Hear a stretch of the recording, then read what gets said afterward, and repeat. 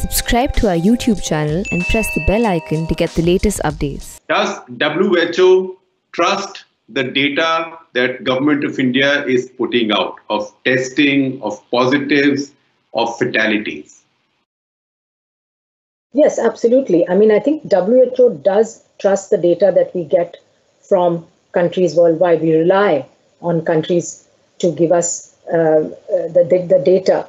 Now, many countries have more or less developed systems to collect health information. So, in fact, even before all of this happened, the COVID, one of our priorities from WHO was how do we strengthen countries' health information systems? And I'm talking a lot of countries in Africa, a lot of countries in Asia, where we get the basic data, of course, but there could be so much more data that could be collected that would be really useful for the planners within those countries and of course for WHO to, to monitor the health of the world.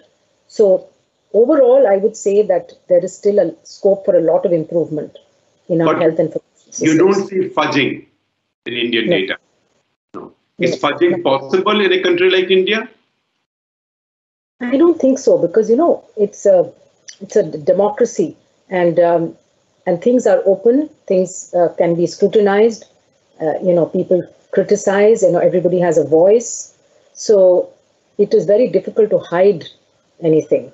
And Uh, you were you were heading ICMR institutionally. You think ICMR as an institution will fudge or hide? Never. No. Never.